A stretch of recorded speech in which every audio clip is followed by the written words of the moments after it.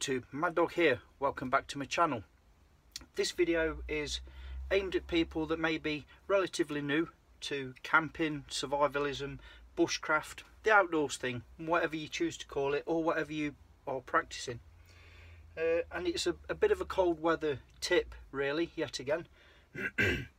for those of you guys and lasses that already know all this sort of stuff, again forgive me for the redundancy, so um, I'm just trying to throw little snippets out there to help uh, newcomers and youngsters along a little ways and try and you know explain simplistically some reasons why we do what we do basically for the reasons why. So I'll crack on with it. And this video is basically around um, your gas canisters or fuel cells whatever you want to call them. Um, for a quick example. Now I've got some of this here. It's a small as you can see a very small gas canister 100 grams I believe gas canister. And that was roughly the same price as this one a 450 gram gas canister. Now why would you pay the same for that as you would for that? Now then this is where it starts to get a little bit um, tricky depending on what you're doing what you're using and when. So I'll try and explain myself so please bear with me. Gas canisters butane stroke propane fuel mix it's a liquid petroleum mix liquid gas. Butane and propane are two liquid gases that are derived from the petroleum spirit. Now when they are compressed into a pressurized container they become liquid and when they are released to the open atmosphere it causes the liquid to boil. Now the difference in temperatures at which those liquids boil and become gaseous are vast. For example, butane is the cleaner burning of the two fuels, butane or propane.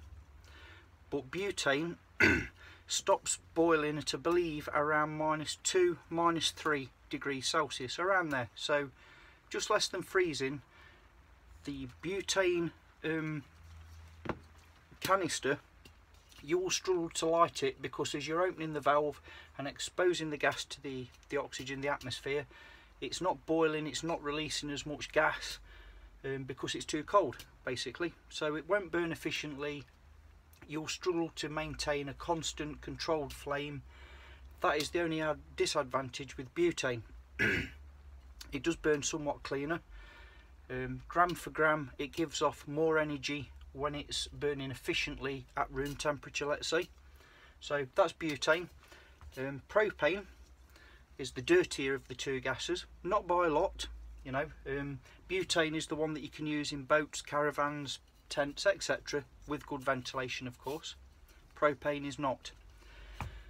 That being said propane the massive advantage with propane gas is it still boils right down I believe to minus 40 degrees somewhere around there. So you've got to be in crazy extreme conditions for propane not to boil and become gaseous. Therefore you're still going to have fire. You're still going to have a controllable maintainable flame. So cracking me I'm right rambling on but this is a little bit of info that you might find useful. You might not we'll see. So some companies what they do is to get around this problem they mix the two butane stroke propane you know it does say on the top butane stroke propane but, uh, butane stroke propane in various quantities. You will generally find excuse me that canisters standard camping gas stamp, standard camping gas or gas in this case I think it is a gas G-A-Z yep will be butane heavy. Um, they're assuming you're going on a camping trip in normal conditions, nothing extreme, and you probably won't be camping out anything less than minus two, three, four at the worst. So that will still provide good a good amount of reliable fuel. Um, so that's why this is, let's say, six quid for one of those over here in the UK. And this 100 grammer is also six quid, but it has a much higher propane content, which means whilst it does have butane as well to keep it controllable you'll see there minus 27 degrees C so this is good for a lot lower temperatures excuse me. So in this time of year, you know, if you're still going out wild camping, bushcrafting, whatever, you ideally need a higher propane content than butane. If this makes sense. I hope I'm not getting this, making this too much of a mind bender for everybody. Um, I get myself in a twist with it sometimes. um, so that's that will explain the difference in price per value for money as in volume. That one is a lot more durable in minus conditions. Now as we all know, you can go high if you go into hill climbing, mountain climbing. The higher you go, the thinner the air gets. Therefore, the more efficient any of the fuel canisters will burn. So you get more bang for your buck the higher up you go.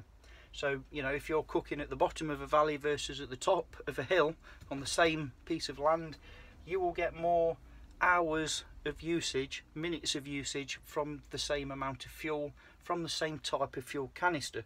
If that makes sense, I hope it does. Um, that's another little footnote. Quick little tip. whilst you're looking around the supermarkets or you know the bargain basement buckets to buy these fuel canisters um, a little tip.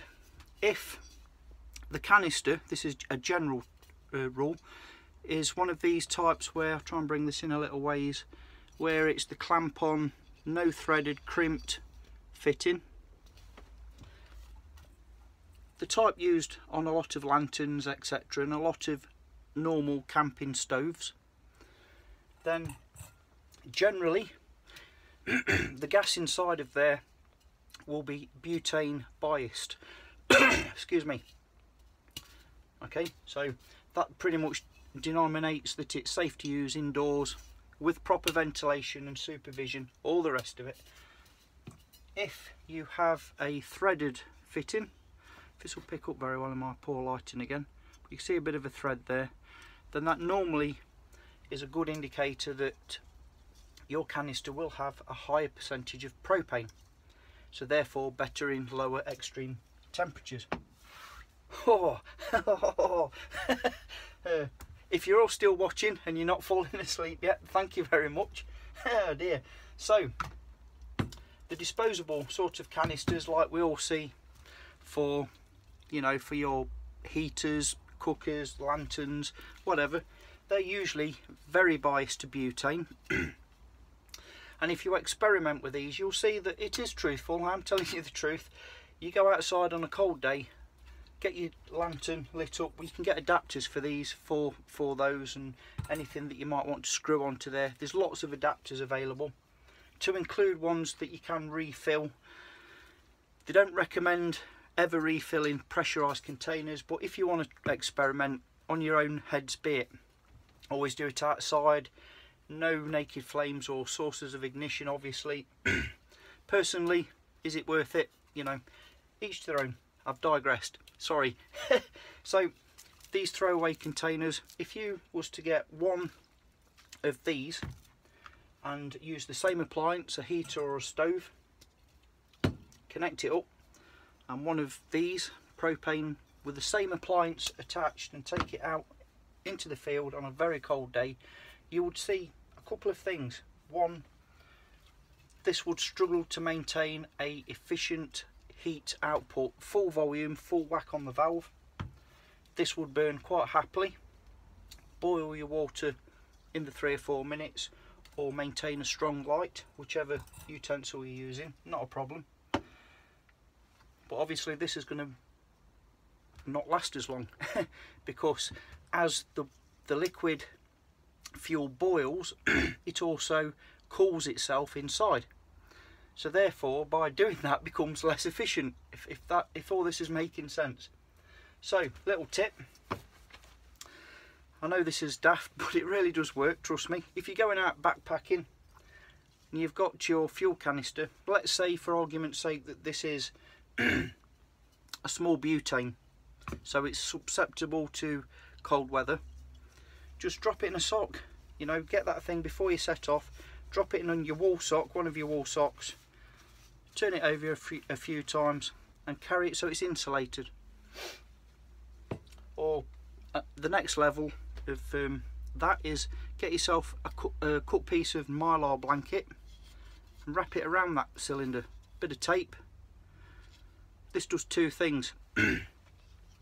Because you've wrapped it in layers you are insulating it making air, air pockets to keep it warm but it's also reflecting the cold. It reflects the cold as well as the heat. You know if you put that to to exposure of the sunlight then you're reflecting sunlight but in a cold environment you're also reflecting cold. So it works both ways. It's worth doing or do both wrap it in mylar survival blanket and drop it in a sock. Double whammy win-win.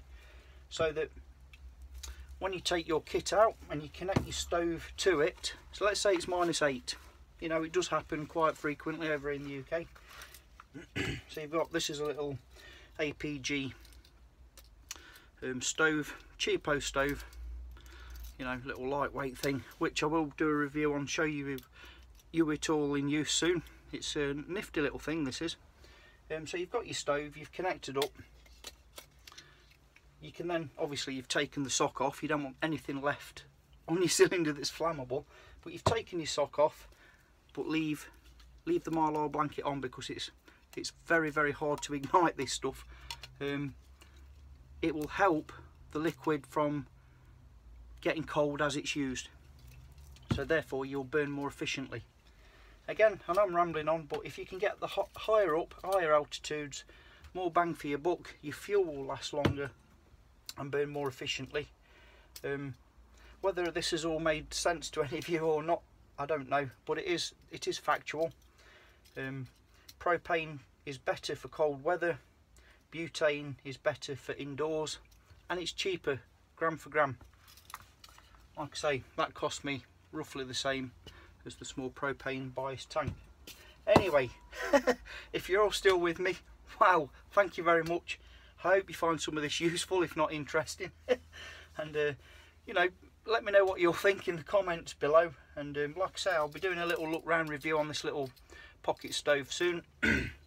It is actually a, a, nice dandy little bit of kit for the price point as well. So we'll be reviewing that later on. And uh, I think I can't remember the wattage now. Is it 2300 something like that. So it's not a bad output.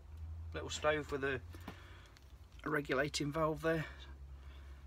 Stainless steel stove. Folds down nicely nice and easy. Like so. Stick that on one of your little lightweight propane um, fuel cells and away you go you know. Good enough for a day out weekend out. Anyway take care out there. Till next time. Mad dog signing off. Yeah